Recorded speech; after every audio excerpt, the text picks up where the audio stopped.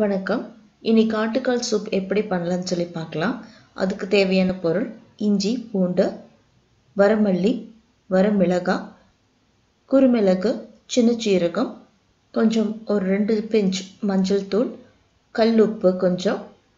கல்லுப்பு வந்து ஒரு ஸ்பூன் போதும். நல்லெண்ணெய் சின்ன வெங்காயம் கருவேப்பிலை மல்லித்தழை. கொஞ்சம் தக்காளியும் கூட வேணும். அது நான் உங்களுக்கு இதில் காட்டல. கடைசியில் நாங்கள் ஆட் பண்ணும்போது நீங்கள் பாருங்கள் ஓகே இப்போ இந்த மாதிரி ஐட்டம்ஸ் எல்லாம் எடுத்து வச்சிட்டோம். மெயினாக நமக்கு தேவை ஆட்டுக்கால். ஆட்டுக்கால் வந்து என்ன ப்ரொசீஜர்னால் தீயில வாட்டி எடுத்து வச்சுக்கணும். அதோட முடியெல்லாம் நல்லா ரிமூவ் ஆகணும்.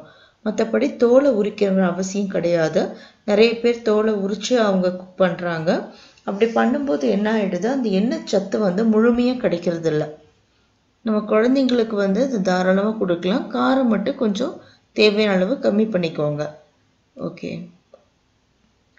இப்போ நம்ம அடுப்பில் குக்கர் ஓகே இப்போ அடுப்பில் குக்கர் வச்சிடலாம். தண்ணி பாயில் ஆகிடுச்சு அதில் நம்ம இந்த கழுவி வச்சுருந்த ஆட்டுக்கால் அதை மிக்ஸ் பண்ணி கொஞ்சம் மஞ்சத்தூள் ஆட் பண்ணிட்டோம்னா ஒரு கொதி வந்ததுமே அதோட சத்துக்கள் இறங்க ஆரம்பிச்சிடும் பார்த்தீங்கனாலே தெரியும் என்ன சத்தில் மேலே மிதக்குது.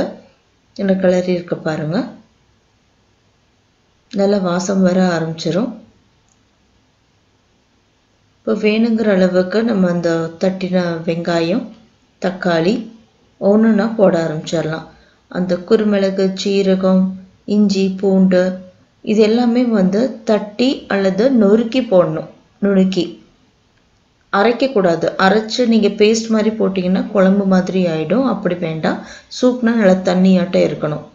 உப்பு வந்து குறைச்சே போடுங்க. என்றைக்குமே வேணும்னு நமக்கு ஆட் பண்ணிக்கலாம். அதுக்கப்புறம். ஓகே. இந்த சத்து சத்துள்ள சூப் வந்து நம்ம வீட்டில் செஞ்சு குடிக்கிறது தான் ரொம்ப நல்லது. கடையில் அப்பப்போ வந்து சுட வச்சு கொடுக்குறாங்க. அது எந்த அளவுக்கு நல்லா இருக்கும்னு தெரியல. உடம்புக்கு நம்ம ஆரோக்கியத்துக்கு அப்படிங்கும்போது நைட்டே நம்ம இதில் ப்ரிப்பேர் பண்ணி வச்சிடணும். விடிய காலையில் எழுந்திரிச்சு வெறும் வயிற்றில் குடிக்கணும். இந்த கிராமமாக இருந்தால் அந்த தணலில் போட்டு வச்சுருப்பாங்க.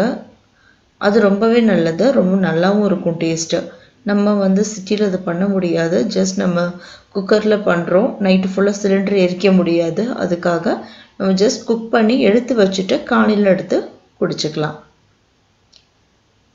எல்லோரும் நல்லா குடித்து நல்லா ஆரோக்கியமாக இருக்கலாம். ஹாஸ்பிட்டல் போகணுங்கிற அவசியமே கிடையாது. நம்ம தான் புதுசு புதுசாக நோயெல்லாம் வரவழைச்சிட்டு ஹாஸ்பிட்டலுக்கு ஓடிக்கிட்டு இருக்கோம். இந்த மாதிரி குடிச்சுக்கிட்டோன்னா நல்ல பெரியவங்களானதும் மூட்டு வலியெல்லாம் வராது. இந்த எலும்பு இருக்குது பார்த்தீங்களா அதுக்குள்ளே வந்து ஒரு சவ்வு மாதிரி இருக்கும். அதுதான் மெயினான விஷயம். அந்த கொழுப்பு தான் வந்து எல்லாருக்குமே தேவை. நம்ம மனுஷங்கிட்ட இருக்கிற கொழுப்பு தேவையில்லை. ஸோ உங்களுக்கு இந்த வீடியோ ரொம்ப பிடிச்சிருக்கும்னு நினைக்கிறேன். சப்ஸ்கிரைப் பண்ணி ஷேர் பண்ணுங்கள் டேஸ்ட் பண்ணி பாருங்கள் ரொம்ப நல்லாயிருக்கும். கடைசியாக நீங்கள் மல்லித்தலை தூவி இறக்கிக்கலாம். Okay thank you